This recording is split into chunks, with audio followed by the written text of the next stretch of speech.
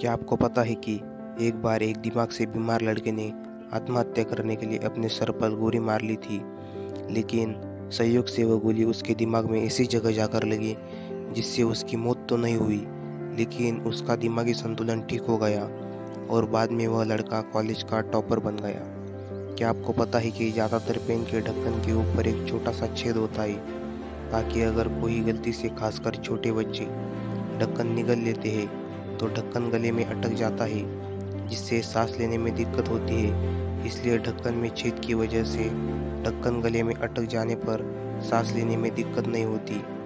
आपको जानकर आश्चर्य होगा कि गीज़ा के महान पिरामिड में इतनी मात्रा में पत्थर लगे हुए हैं कि उनसे पृथ्वी की चारों ओर एक दीवार लगाई जा सकती है।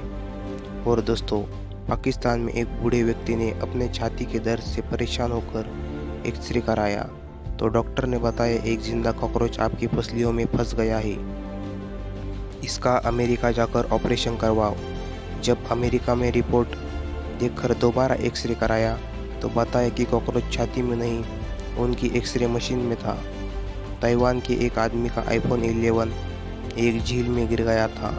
ठीक एक साल बाद झील सूख जाने पर उसको अपना फ़ोन दोबारा मिल गया। लेकिन हैरान कर देने वाली बात यह है कि एक साल बाद फ़ोन पानी में रहने के बाद भी उसका फ़ोन चार्ज करते ही नॉर्मल चलने लगा। इटली में एक ऐसा शहर है, जहाँ सरकार सिर्फ़ सत्तासी रुपये में घर बेच रही है। इस शहर का नाम सलीम ही यह सरकार इसलिए कर रही है क्योंकि इस शहर की आबादी बहुत कम है और सरकार सस्ते में घर देकर यह आबादी बढ़ाना चाहती है।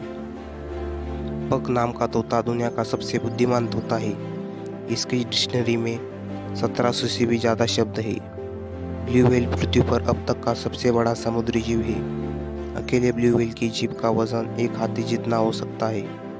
क्या आपको पता है कि बरसात के आने पर सभी पक्षी छुपने के लिए जगह ढूंढते हैं, लेकिन बाज उस समय बादलों से भी ऊपर चला जाता है, जिससे हमें यह समझता है कि समस्या का समाधान सिर्फ़ सोच और काबिलियत से होता है।